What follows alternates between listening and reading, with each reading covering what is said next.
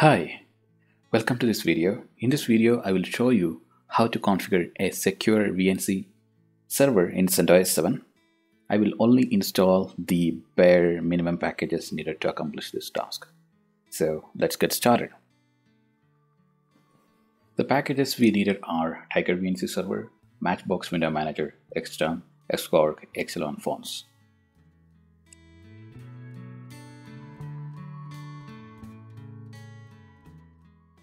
So the installation going to take some time, so I'll pause the video and I will resume once the installation is completed. So now the installation is completed and I'm going to create a file in root's home directory. The file name is called .xclients. So let's create that file.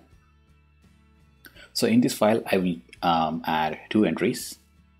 One is for the Xterm and one is for the uh, Window Manager so and once you add it you can save it.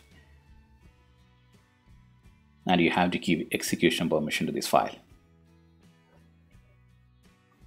Okay so let's start the VNC server. I'm going to give the minus localhost um, because I don't want my VNC port to be exposed.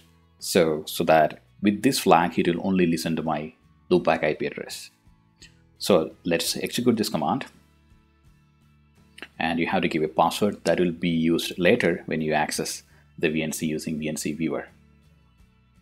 And here we don't want any view only password. So let's say no and press enter.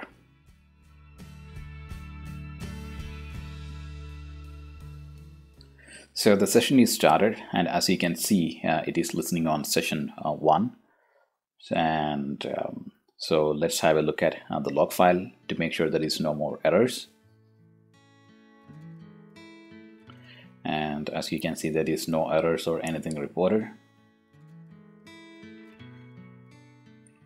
And from here, you can see the port uh, used for this session is 5901 and we will, we will be using this port uh, but we will not be accessing it directly. Instead, we will be using SSH tunneling to access this port. So let's start an SSH tunnel using PuTTY and you have to give the IP address of the server. Yeah. And also you have to uh, expand the SSH and click on tunnel. Here you have to give a source port that you can take like 9901 and, the destination as the loopback IP address of the server column the port number that is 5901. So the whatever the communication that is going to happen through this 9901 port on the your Windows system or your local system that will be forwarded through SSH tunnel to the local host IP address or the loopback IP address of the server to the port 5901. That is how the SSH tunneling works and that is how the port is getting forwarded via SSH. So let's open this session and you have to give the credentials same as like the one you already did and let's open the event log from the PuTTY session. And here you'll be able to see uh, the port forwarding is enabled. And it is waiting for the connection to happen. So let's start the VNC viewer. So you can download any VNC viewer. And I have downloaded Tiger VNC and here you have to give the localhost colon 9901 so that is your uh, client's local um, port. And here it will ask for the password that you set and you have to give the password. So now you got an NX session. So from here you can execute any command which needed NX window.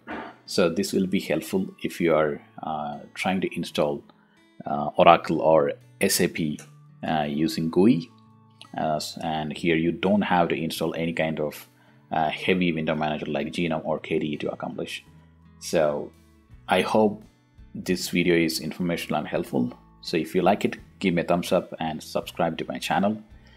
And stay tuned for my next videos.